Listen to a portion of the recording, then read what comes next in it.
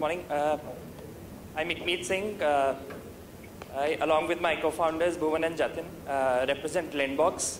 Uh, we are India's leading RBI-registered uh, peer-to-peer lending marketplace. Uh, digital is, is the new future, and India and China lie at the cusp of this digital revolution. Uh, but what, what, we've been talking here is uh, industries in billions. Uh, but if you look at the digital market lending uh, in India, this is going to go at a staggering uh, $1 trillion market uh, within the next five years. But who is going to drive this growth? Uh, as per the BCG study, there was, on the basis of the household income, the categories are divided it is definitely not going to come just from the elite and the affluent set of the society. Uh, in the next 10 years, what we are going to experience is the major growth in adoption of digital revolution is going to come from aspirers and next billion, which banks currently do not focus on. Uh, the consumer finance market in total is about a trillion dollar currently, out of which 70% is still served by the informal sector. Uh, so we understand that the opportunity on bringing this informal sector into the, into the formal sector is huge. But uh, now the question comes in, who will lend money to people who are not served? Uh, banks and NBFCs do not want to focus on this set of users, uh, primarily because of uh, a lot of regulatory purview and uh, their focus on, uh, on elite users. So which is where we bring to the table a new set of new set of investors, which are the retail investors. Uh, now, retail investors uh, they are looking for more options, uh, which are uh, which are more liquid in nature, which will have uh, which do not have a huge capital requirement, and which do not come with a with a long lock-in period. this is where P2P lending kind of checks all the boxes. We are one of the leading P2P platform in the country. Uh, we are a tech platform that connects these retail investors uh, with potential retail, uh, uh with, with retail borrowers. Uh, and uh, they meet on the technology platform. We are a full stack organization. We, we, we service the entire loan and investment for both the parties. Now, let me tell you a bit about how it actually works. A borrower signs up on the platform, submits his requisite information and his requirements, whatever he wants the loan for and how much he wants. Then he goes through our extremely stringent vetting process, where we vet uh, uh, numerous data points on the borrower, and we reject 80% of the applications which come on the platform. Now, once the borrower is listed, our investors can see and, uh, uh, invest in the loan, and it gets funded. And Lendbox manages the entire process end to end from uh, the loan uh, requirement to the funding to the digital agreements and even the EMI collections. Now a little bit about ourselves. Uh, this is Jatin who takes care of the technology and he comes from with an extensive experience in building products and applications. There's Ikmeet who just spoke. He comes with an extensive background in uh, investing, startups and also in tech consulting. And there's me uh, and I come from an investment banking and a finance background. And, and, the way we know each other is that Ikmeet and Jatin used to work together for a startup accelerator fund, and Ikmeet and I used to live together in Spain when we did our MBA. So we know each other a bit too well, basically. Uh, Jatin and I uh, were also part of the Forbes 30 under 30 list uh, in 2017 under the finance and venture capital arm. That was two years ago, so which is not a good thing about age. But now, why would a user choose Lendbox? By user, I mean either an investor or a borrower. For an investor, it's pretty straightforward. They would choose Lendbox because we are giving them opportunity to invest or lend you, whatever you want to call it, in products which were initially only available to institutional investors. And they can invest as little as 10,000 rupees and get access to such opportunities.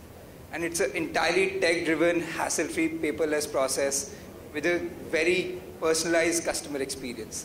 And for the borrower, they, we're giving them access to the formal sector and formal finance, which is cheaper.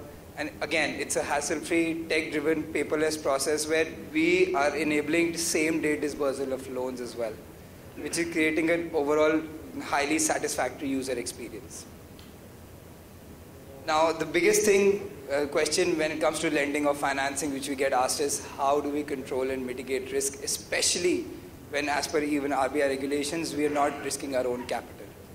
Now, we use technology on, in, in the entire gamut, all aspects of our business.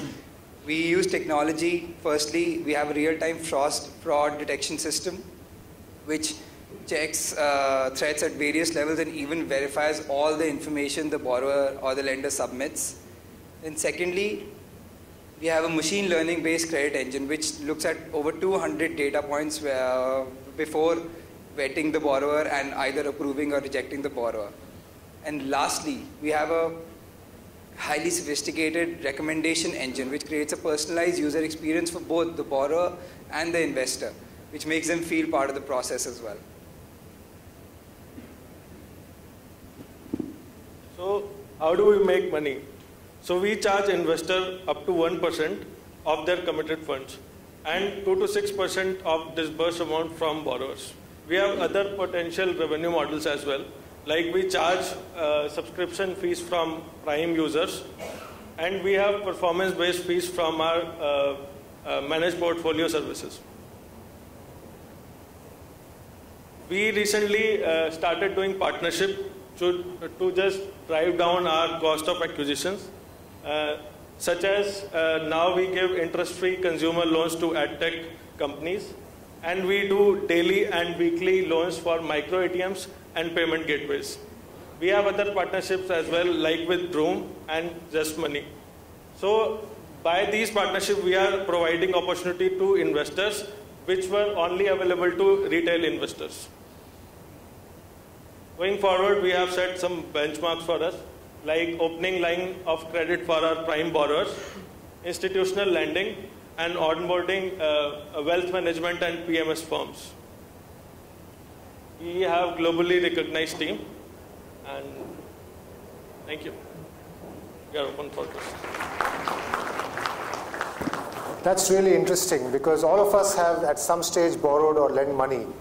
Uh, like, please join us. Uh, and uh, this looks like the ultimate in disintermediation, you know, straight from the borrower, uh, uh, straight from the lender to the borrower. So uh, very interesting, uh, you know, value prop, very interesting industry, very nascent. Uh, but I, I, just wanted to bring it very topical, right? we have an ongoing NBFC crisis.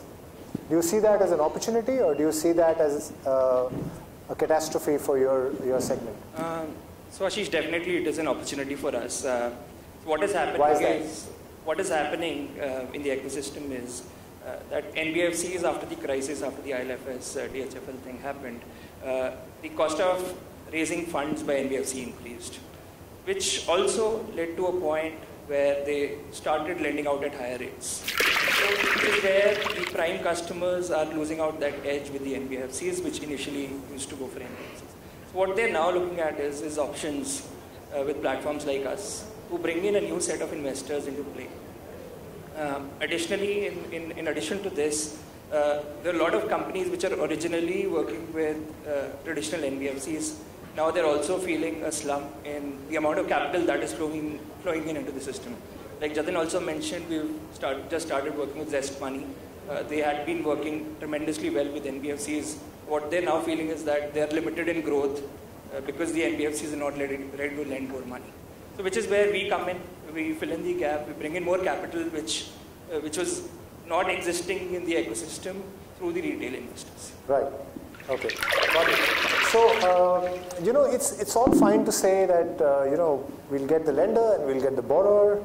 And uh, by the way, that's what we did in our IT days. We would just knock and uh, ask people for money. But that's, uh, that was different. You're doing it at scale. But tell me, fundamentally, the retail segment uh, is, is looking at his money as a saving. That's why he goes to the bank and deposits it for safekeeping and then the bank takes the risk. Here you want to convert him to a lender. How do you make that mindset, uh, mindset shift uh, in, in, the, uh, in the retail sector? Mindset shift is majorly for investors. it, it is going sure. towards investors rather than lenders. So, this right. Is, um, so how this is happening is, uh, see credit, uh, availability of credit and know, know how about credit is there with almost every Indian. Right? Biyaj is something that everyone understands in this country. What is happening is initially people wanted to lock that money into fixed deposits which will give them fixed returns and very stable, uh, no headache kind of returns. But what is happening is initially when we started, I'll tell you how the journey also evolved. When we started, uh, we were considered a riskier asset class. Right. Only the people who would want to risk, like, like people who are investing in VC funds, they, they were very handful of people initially who would want to take that extra risk for that extra return. Uh, so this is how we were considered on day one when we started off about four years ago. What has opened over, ha- happened over a course of time, uh, again with the NBFC crisis also happening, what we've also started attracting is a lot of prime borrowers, where the default is negligible or less than 1%. So what is happening is that we're able to create the entire spectrum of as an investment class wherein only not which is not only existent for the high risk takers but also for very very low risk takers. We've also come across a lot of cases wherein people have taken out money from fixed deposits and started investing on a very low risk kind of portfolio. So that is what we bring to the table, that we bring uh, an asset class which is not just for the riskier guys, but for anybody looking at the entire spectrum of risk. Great. I think we've run out of time, but that's a really fantastic opportunity. You guys are pioneering a new asset class in India. All the best and uh, good luck. Thanks.